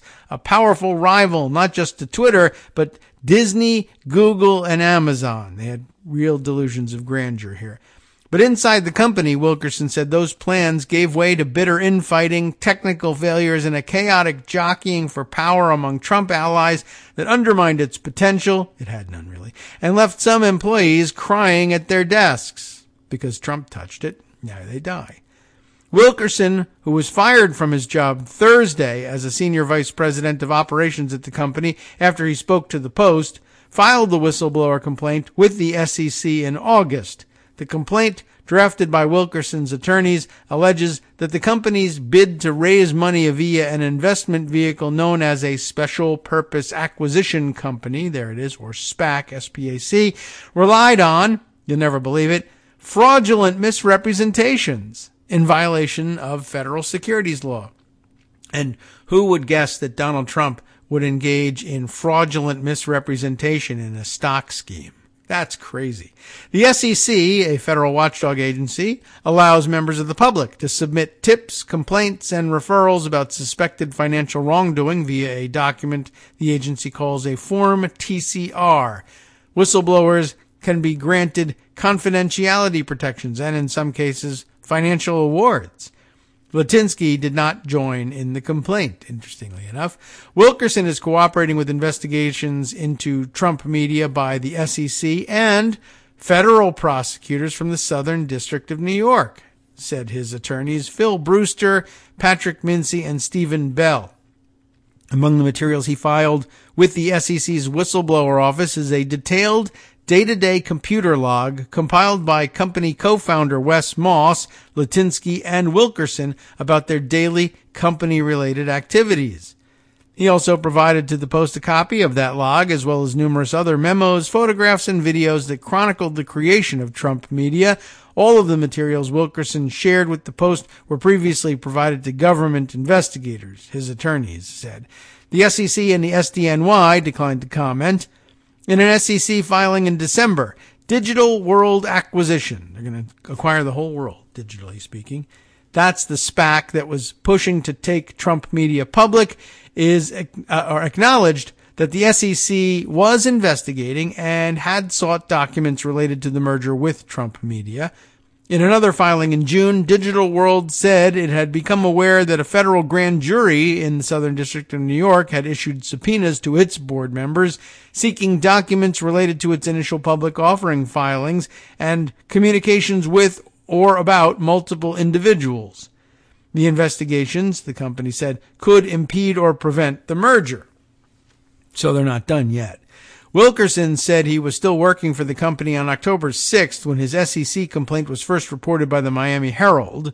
A Trump media attorney sent Wilkerson a letter that night suspending him for what the lawyer said was a quote blatant violation of his non-disclosure agreement. After interviewing Wilkerson alongside his attorneys, the Post on Wednesday sent a detailed list of claims and questions raised by Wilkerson's allegations to representatives for Trump, Trump Media, and the Trump Organization, Trump's long-running family business. Now, of course, under investigation by the uh, New York State Attorney General as well. Only Trump Media, among that group, responded, saying in a statement that Trump, as company chairman, had hired former Congressman Devin Nunes, you remember him, as CEO to, quote, create a culture of compliance and build a world class team to lead Truth Social. Okay, you know, corporate speak. The company said it was already a success, having launched on the Apple and Google app stores, executed multiple feature updates, and attracted millions of users. Ignoring these achievements, the Washington Post sent us an inquiry rife with knowingly false and defamatory statements and other concocted psychodramas. The statement did not directly address any of Wilkerson's claims. Trump media fired Wilkerson on Thursday, citing his unauthorized disclosures to the Post. Brewster, his attorney, called the termination patent uh, retaliation, patent patent, uh, never did straighten that out. Retaliation against an SEC whistleblower of the worst kind. That is, that the retaliation was. He's not the worst kind of whistleblower. They probably should have rewritten that sentence. Digital World Acquisition has asked shareholders, and I guess there's only like three, to give the company more time to finalize the merger, which would unlock hundreds of millions of dollars for Trump media, but is effectively frozen pending the outcomes of the federal investigations. Digital World and its chief executive, Patrick Orlando, did not respond to requests for comment. The revelations to the SEC from Wilkerson, the most prominent company official to speak publicly about its operations, come at a turbulent time for Trump media's business. Investors, discouraged by the halted merger, have sent the SPAC's share price plunging from a high of $175 to less than $18 on Friday. Roughly 4 million users follow Trump on the company's sole product, Truth Social, far below his Twitter peak of 88 million. The company has pledged to investors it would surpass 50 million users by 2024 in past public statements. Nunes, Orlando, and Trump have argued that Trump media will ultimately prove to be a successful business, but Wilkerson said he expects its internal problems could lead the company to fall apart. We weren't trying to be Trump Org 2.0, he said. We always saw Trump as the rocket fuel to send this thing into space. I wanted this to succeed more than anything, but these are glaring issues and they're threatening me now for calling them out. I couldn't stay quiet anymore. So about what? Let's find out. Next section, The Avengers. I don't know what that's supposed to mean, but Wilkerson, 38, isn't a traditional Trump critic. when Litinsky and Moss, another former apprentice contestant, first started discussing the idea of a multi-pronged Trump media business after Trump's November 2020 election loss. The men had asked for his help developing the business, Wilkerson said. Not that he could actually help you. They, he, they wanted his name. And that's probably about it. Maybe they actually believed in his business acumen. They were apprentice contestants. A form, although they would have a better look than anybody at the fact that he lacked any sort of business acumen entirely.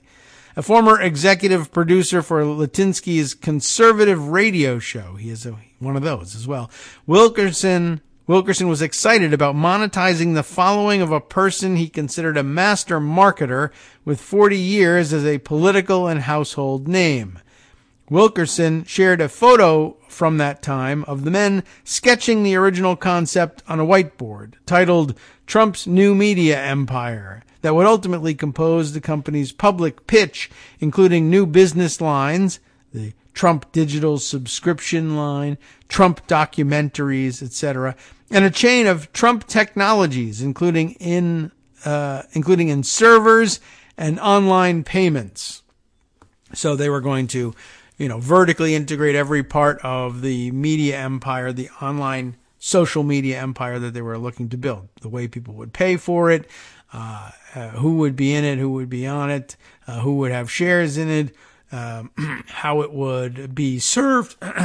pardon me served to the web, etc., etc. They just figured on owning all of these things at some point.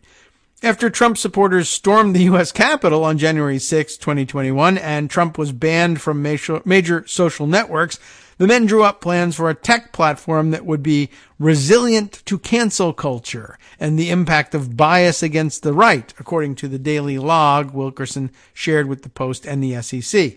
To meet with Trump, the men sought help from another apprentice contestant, Bradford Cohen, a Florida criminal defense attorney who represented two rappers, Lil Wayne and Kodak Black, to whom Trump had granted clemency on his final day in the White House. So they figured Bradford Cohen, I mean, he's just another apprentice candidate, so, or a contestant. So are they. Why do they need his help? Well, he's recently been in touch with Trump and gotten some real world uh, results for clients he's represented. So maybe he's an in. Maybe they have, he has more pull with Trump than we do. He doesn't care about his former contestants. In late January, three weeks after the riot, Cohen, Litinsky, and Moss met with Trump at Per his opulent sex club and home and club, yes, in Palm Beach, Florida, to discuss the idea over cheeseburgers, Diet Coke, and ice cream because he's trying to lose weight. The men offered to build Trump a media company that he would own 90% of without putting in any of his own money, which is a great way to get him to agree. Wilkerson said he was interested and Trump Media was born. So that's how you get Trump Media, right? You go to Trump and you say, we'll do all the work. We'll put up all the money. You'll own 90% of it. Will you do it? Of course, Trump says yes to that. Cohen and Moss did not respond to requests for comment, by the way. Raising money, however, proved to be a major challenge because they didn't have any of their own and other investors look at it and say, let me get this right. If I put money in, the most I could own is 10% if you give me all your shares because Trump already has 90% of the company. So who are they going to get money from? They're only going to get money from people who say, I'm looking to burn this money in exchange for garnering favor with Trump. I know from the outset, all I'm doing is handing over cash that I have and giving it to Trump and hoping that he'll say thank you to me one day by granting me some favor or another. There's no chance that a company will be built out of this when 90% of the money goes to Trump. So, okay. Raising money proved to be a major challenge. The investment bankers, they called, rejected them because of fears over Trump's post election behavior, Wilkerson said. And I mean, that's the wrong answer. The investment bankers that you called rejected you because 90% of the equity was already off the table. And not only that, it was in the hands of somebody who was, you know, habitually stealing equity anyway. So, you know, it's just a bad bet. It's a stupid pitch. But, you know, whatever. They probably told him, well, you know how it is post uh, January 6th. That, that's a soft way of letting him down.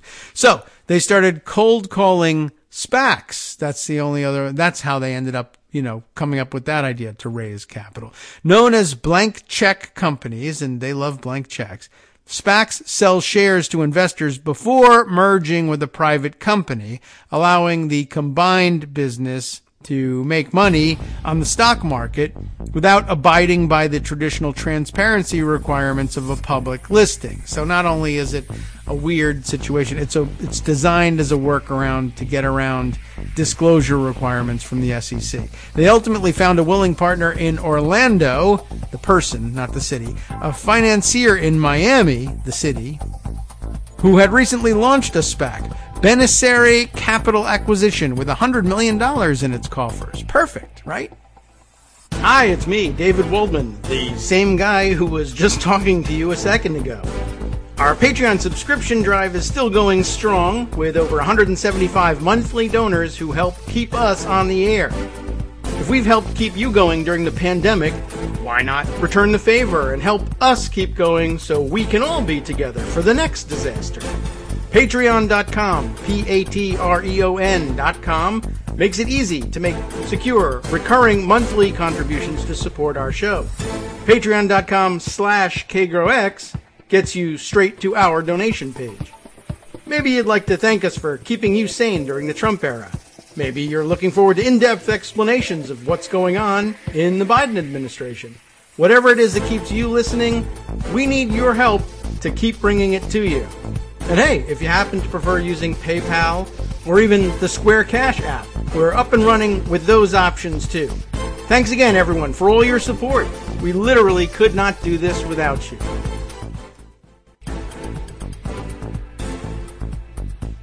All right, welcome back now to the Kagro in the Morning Show here on Netroots Radio. I'm going to continue on with this story. It's a very long one, and I could have saved this thing for Friday or the next Monday. Would have made great pre-recorded shows, great answer doing those one topic shows. But this seemed really, I don't know, it's not super important, and it's not the thing that's going to, um, uh, you know, be the next step in the downfall of Donald Trump, since nothing will anyway. But it is very interesting and just very telling, I think.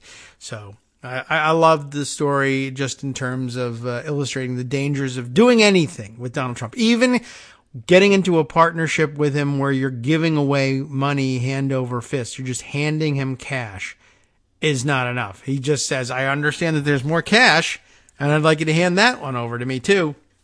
And, uh, you know, I just don't know why anybody will never learn their lesson, but all you can do is tell the stories and hope that someone else hears it and uh, under, comes to understand that you can't do any more business with them. It won't happen on this show, though. So, in that sense, perhaps a waste, perhaps a waste of time. Anyway, so uh, no banks would do any business with him. Uh, they told him a fairy tale. They told him what he wanted to hear, Wilkerson, with respect to why that was the case. I think. I mean, really, no investment banker is going to get involved in a deal where 90% of the equity is already gone and the people who are really doing the work behind forming the company, if, if the, if you can even call it that, but the people who are doing the, the legwork, at least of, of, of talking to investment bankers and going through the embarrassment of begging for their money are the owners of the other 10%, then they're just not going to give that up. That's their payment for having to, you know, do this embarrassing prostration before investment bankers begging for cash. So they let him down easy and said, well, it's a January 6th thing. And who knows? Maybe they even said to them, well, in time, if that passes, you can come back. But in the meantime, you actually need to launch this thing. You're going to have to find some other source of money. They go, they find Patrick Orlando, a financier in Miami who had recently launched a SPAC called Benessere Capital Acquisition that had $100 million in its coffers. Who's Benessere or what does it mean? I don't know. It's kind of unexplained. There's a link here to, you know, from the name. What does it lead to? An SEC filing about them. So not something I'm going to thumb through at the moment, but it's a little weird and it doesn't matter in the end because you say Benessere capital acquisition. I thought it was digital world acquisition. Well, that comes later. First, they try with Benessere. In late February, Orlando Wilkerson and other Trump allies outlined the vision for Trump in a Mar-a-Lago dining hall, taking photos to remember the moment. We viewed ourselves at the time as the Avengers. That's where that title of the section comes from, I guess. Why the Avengers? I don't know. They had just seen the Avengers on TV, so they regarded themselves that way. We were an unstoppable force, but guess what happened? They got stopped. Now, next section is up and it says its title is DJT is pissed. Can you guess who DJT is? And he's always pissed. Speaking of piss, he looks like he drinks his own because I don't know, it's turned his hair that color. I suppose that could be a side effect. There's no medical reason for believing that whatsoever, just to be clear. But really also no real good reason for drinking the urine either. So just don't do it. The next several months were a frantic rush to meet with potential partners hire workers and build the business, Wilkerson said. In other words, it's another one of those situations where you're like, I, I love how they build their business from the opposite direction, as opposed to like, well, I wanted to see whether there was really a market for this and did we have a product? Let's create a product and then try to sell it. Let's instead sell shares in the company and then try and use that money to go make a company to come up with a product or something. We'll hire some people who might have ideas about what, what to make all right. That's the way big shots run businesses these days. And I guess it's true in some cases, just not these guys. So the next several months were a frantic rush to meet with potential partners, hire workers, and build the business, Wilkerson said. The daily logbook shows the men flying to meetings with conservative media figures and exchanging proposals at bars, golf clubhouses, and pizza joints. It's good work if you can get it. In other words, you ask some rich guys to give up some of their money in supposedly either in the hopes of making more money or more likely in the case of Patrick Orlando, the idea of uh, pleasing Donald Trump by handing over some portion of that $100 million to him in exchange for God knows what later on. But in the meantime, it's good work for these guys. Wilkerson, who has no product, no company, no structure, no nothing, has a pot of money and he's allowed to use it to fly around the country and hang out in bars, golf clubhouses, and pizza joints with other conservatives and ask them for more money. And if he gets it, great. And if he doesn't get it, the flight and the pizza and the golf is paid for out of the pot of money that comes from other, some other dummy, just not me. The team, Wilkerson said, also gave Trump regular in-person updates at Mar-a-Lago, Trump Tower, and his golf club in Bedminster Township, New Jersey. But as the company became more legitimate, meh, it also started running into problems. And isn't it funny how problems come with legitimacy? If you don't actually have a product or anything and you start to become legitimate, whatever that's supposed to mean, uh, problems arise. Trump's umbrella company, the Trump Organization, disputed a long signed agreement between the startup and Trump himself, demanding more control over how Trump's likeness would be used, Wilkerson said. And Trump's adult sons, quote unquote, I would say adult sons, Donald Jr. and Eric, began asking for large stakes in the company, Wilkerson said, even though they had been almost entirely uninvolved. And that's actually the least surprising part about it, that they'd been uninvolved. But interesting that they, I start asking for large stakes in the company. His dad owns 90%, but they also want 90%. And me too. And who cares whether that's uh, 270%? That's what we want.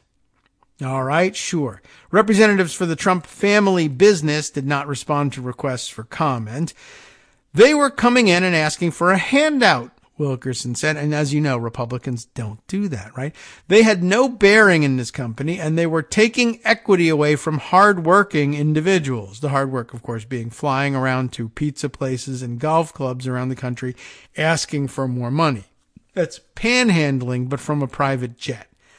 Orlando brought his own issues. In June of 2021, he'd raised tensions when he sent Trump a birthday letter in which he devoted hundreds of words to Trump's, quote, thought leadership and, quote, quick and genius guidance during a recent meeting discussing the company's name and logo. In other words, the decoration of the company. I want it to have gold curtains and it should have Trump what are we making here? media, Trump media, social. Some people say social, some people say social media. It could say either one as far as I'm concerned, but the big part should say Trump. What again? Trump social media. And uh, there should be a picture of me, Trump, and it should be huge. And that's what he wanted to have a meeting over. And so as a result of that fabulous meeting. You know, how do we build this technology? What are we going to do with our servers? Who's going to code this thing and how's it going to work? And do we have the server capacity? And uh, how many people are we going to need to monitor this, that, or the other thing? I want the curtains. The curtains should also say Trump. In fact, I want you to spell out Trump in curtains. I don't know. Do whatever you have to do. Make sure that happens. This is the advice he's getting. And so Orlando writes him a letter. You're a genius. Your guidance was fantastic. The obsequiousness of the letter apparently upsets his partners. It goes on. Here's some quotes. I was unaware of the extent of your brilliance, Orlando had written. On your birthday, dear leader, on your birthday, my only wish is that you realize how proud we are of your success to date. The letter agitated the co-founders, Wilkerson said, who found it mawkish and overly familiar, which is saying something. Moss and Litinsky were further unnerved when Orlando routed roughly $8 million into Trump media via an unknown group called the ES Family Trust. I don't know who that is. You don't know who that is. Nobody knows who that is. Doesn't sound good. I have no guesses as to who ES is, but also then refused to say where it had come from besides ES Family Trust. Wilkerson said so. $8 million comes in. Obviously some equity needs to go out the door for that, but to who and how much and in what ratio? We don't know. Their previous investments had come from people they knew, but this money appeared to have been routed from a bank in the Caribbean island of Dominica, which I learned to pronounce last time it came up, and I said Dominica, not like Dominican Republican, but Dominica, which, yes, is where Paolo Zampolli has his passport mill. Everyone will remember that. Uh, and just to make it even more shady, it also came through a cryptocurrency company according to a wire transfer and financial documents from the transaction that Wilkerson shared with the Post and the SEC. Digital World, who the SPAC that actually did go through with the or attempted to go through with the merger, Digital World and Orlando did not respond to requests for information about the transaction or other reporting in this article. When Orlando had first gotten involved, he'd suggested merging Trump Media with Benessere, right? The already public SPAC. But Orlando also began suggesting a second option, Wilkerson said, one of Orlando's newer SPACs, Digital World that had yet to be launched, but could raise much more money. I don't know how you know that. They just say it. In his complaint to the SEC, Wilkerson said the original SPAC, quote, could not sufficiently capitalize Trump media at a valuation that was acceptable to Trump and the company's leaders, and that it would also result in Orlando making less money compared to substituting Orlando's future SPAC. So, there's all the motivation you need to change the deal. Benessere is out, Digital World is in. Digital World's registration form filed with the SEC in May of 2021 and signed by Orlando said the SPAC and its representatives had not initiated any substantive discussions directly or indirectly with any business combination target. But in Wilkerson's complaint, he claims that Digital World and Trump Media had substantive communications regarding a merger that he alleged violated SEC rules. They said they hadn't had any discussions. They actually had violation enough all by itself. Not to mention, he says, apparently it violates other SEC rules for them to do it, not just to misrepresent the nature of the conversation. On April 14th, I guess they misrepresented the nature of the conversation because they were aware that they had already violated SEC rules and wanted to avoid admitting that. So they violated another SEC rule by lying about the extent of their conversations. On April 14th, 2021, Moss and Litinsky learned in a meeting with Orlando that the Benessere deal was no longer viable, but the digital world could be an option. Wilkerson said an entry in the computer log notes that day as uh, notes they that quote the Bene deal is off all caps off and four exclamation points. I don't know why that's so exciting to them. After leaving the meeting wilkerson said the meeting the men were so stunned by the suggestion of something they believed to be improper that they wondered whether it was a government setup or if orlando had been wearing a secret recording device the log quotes litinsky in calling it the roughest day so far and says, Patrick, that's Orlando, pitches us plan B. I get scared. Is he wearing a wire? These guys are really already that suspicious. The men arranged a brief follow up meeting with Orlando shortly after, this time to record their conversation with him, during which they stated their concerns. We can only engage in discussions after they're public. That's the rule, Litinsky can be heard saying in the recording, a copy of which Wilkerson shared with the Post and the SEC. Orlando responded, That's exactly the rules we have to play by. He then added, We have to be very smart. Obviously, we can't talk hypothetically about if there were another vehicle, at which point Litinsky cuts him off.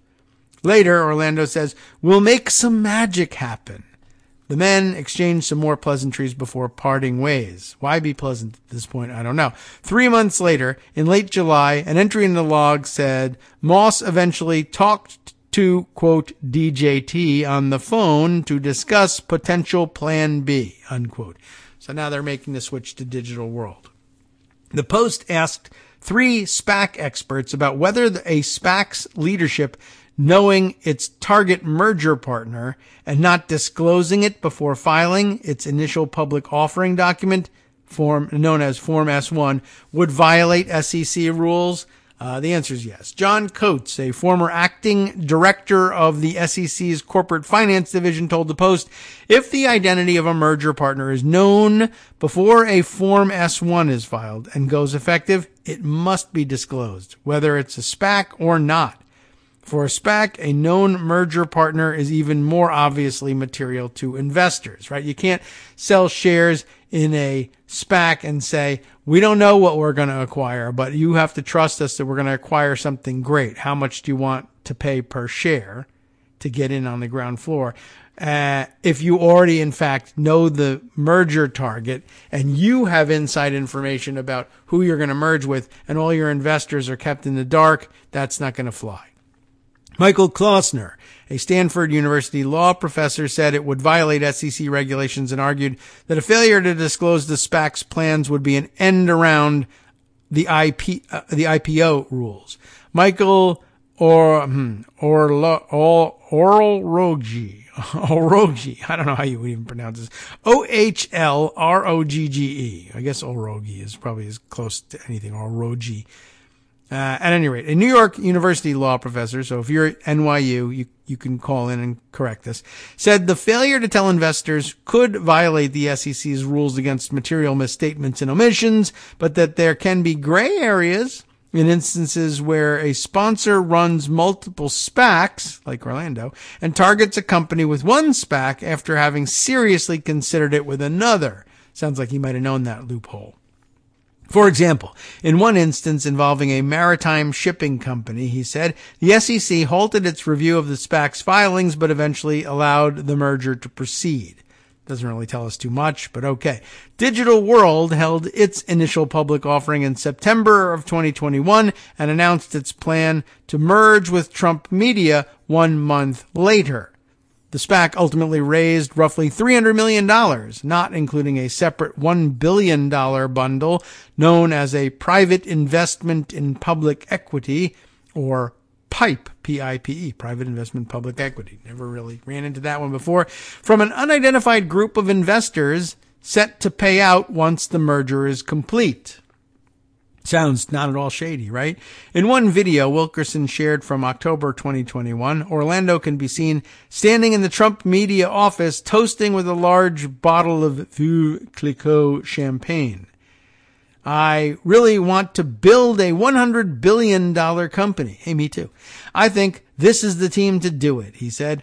Andy and Wes and the entire team, I'm so happy to be working with you guys. We're going to see a lot of each other for decades to come possibly in prison. The log cites daily notes of Moss, Litinsky, and Wilkerson strategizing how to handle the Trump family's growing interest in the business's rising fortunes. One person advised them, for instance, that Trump Jr., quote, needs a bedtime story and some love, an entry shows. That is, he's demanding money.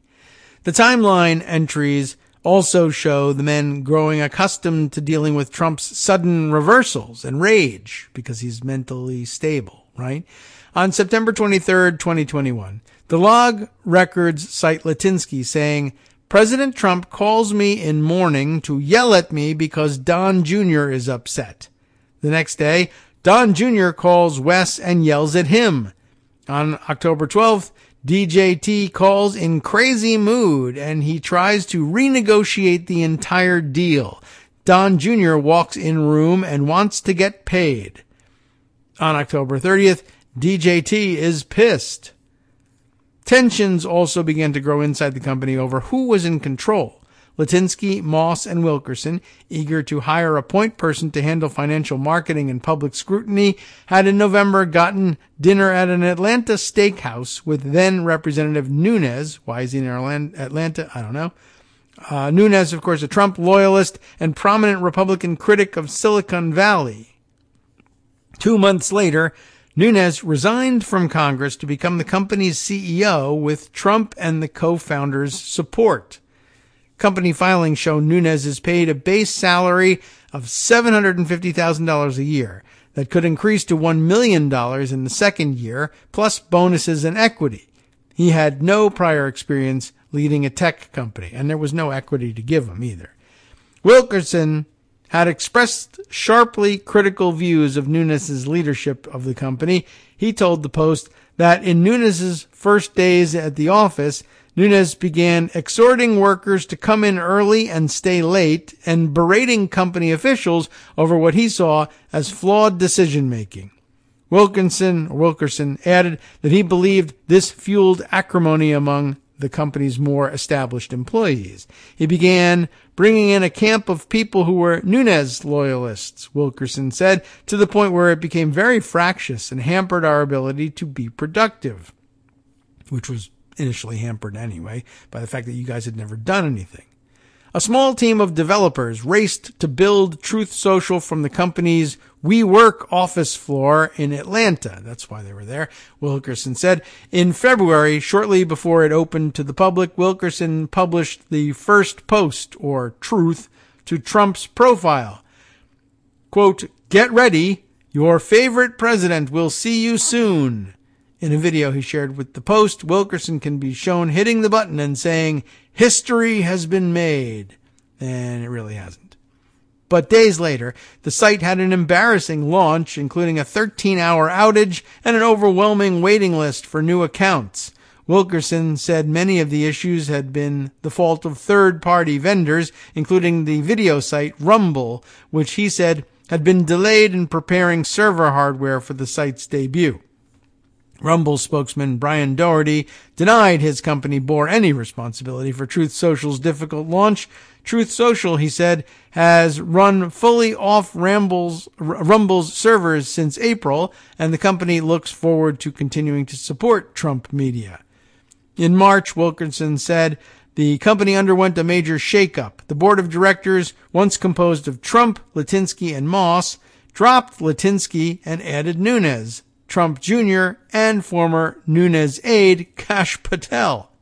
Within days, the company's chiefs of technology, product development, and legal affairs resigned. Wilkerson said he remembers some other employees tearfully processing the sudden upheaval.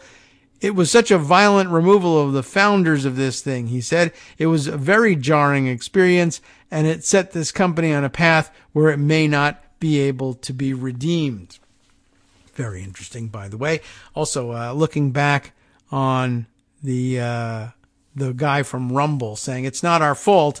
This is kind of a weird statement. It's not our fault. It's their fault. Uh, adding that uh, um, they have uh, run Truth Social off of Rumble's servers since April.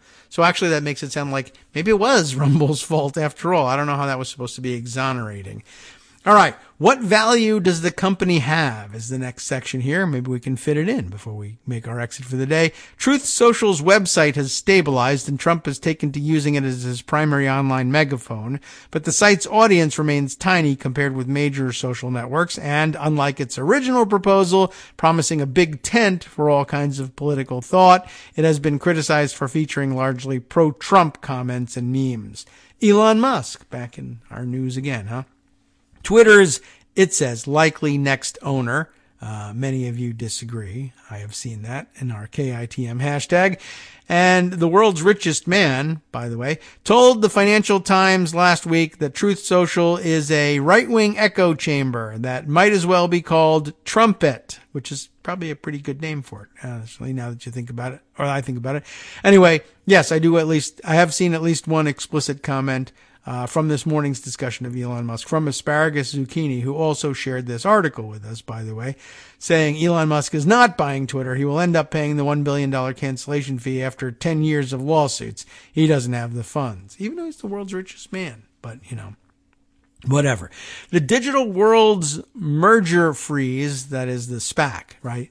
The merger freeze has also thrown the company's future into doubt. The company originally promised to close that merger by last month, but Orlando has since begun asking shareholders to vote to push back the deadline in hopes of resolving the federal investigations and sealing the deal.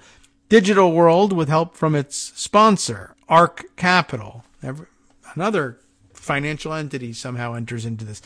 They're an investment firm based in Shanghai which is totally in this country and so therefore perfectly safe, has paid roughly $3 million to give itself until December 8th to finish the merger.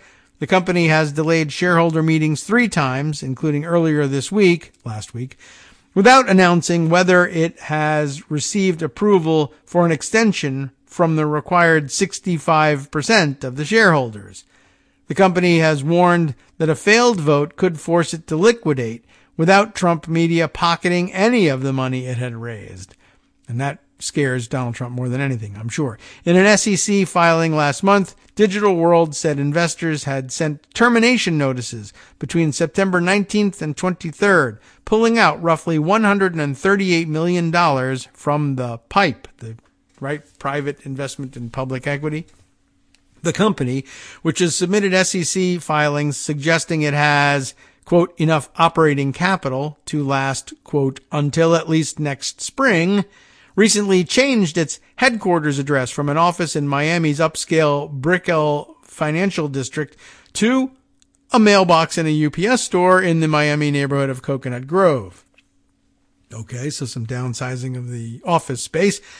Truth Social's hallmark, Trump's involvement has been undermined by the possibility that a Musk owned Twitter could restore Trump's account. Trump has insisted he would not rejoin Twitter even if he is reinstated, though some Trump advisors told the Post they think he wouldn't be able to resist. Trump has also undermined confidence in the deal, saying in a Truth Social post last month that he may just end up skipping out on the SPAC deal and taking the venture private because he's, quote, really rich. Now, if he takes his bat and his ball and goes home, what value does the company have at that point? Wilkerson said. Wilkerson said he hopes that by speaking out, he will help protect the company's shareholders from possible harm. His attorneys said the information he has shared should shield him as a protected whistleblower from company retaliation, and they have questioned the terms of Trump's meet of Trump media's non-disclosure agreement. It's drafted to silence him to prevent him from talking and to punish him if he does so, his attorney, Phil Brewster, said. That's actually the conclusion of the article. Yeah, the non-disclosure agreement is in fact drafted to silence him. That's generally speaking what most of them are about, but certainly Trump's have historically been about. But, uh, well, very interesting to say the very least. And of course, another example of how everything Trump touches dies and uh, an amazing insight into his boundless greed. Having been gifted 90% of the shares in this company, he actually wants some for Melania, but it has to come out of other people's pockets. The two adult sons come sniffing around looking for an equity handout as well. And uh, how about this guy running the SPACs and switching SPACs midstream because he'll have the opportunity to make more money somehow out of uh, the deal if he matches them up with one that hasn't yet gone public. But in order to do that, he has to lie about whether or not he has an acquisition target. So the whole thing starts off on the wrong foot entirely with the SEC. Doesn't look good there. And I think it's only going to end up feeding the New York AG's lawsuit. You know, this is behavior, this fraudulent behavior about overstating the value of assets and, and uh, et cetera, et cetera, is uh, only demonstrative of a continuing pattern. He's still trying to pull this fraud with banks and investment bankers and private equity companies. It doesn't look good for him.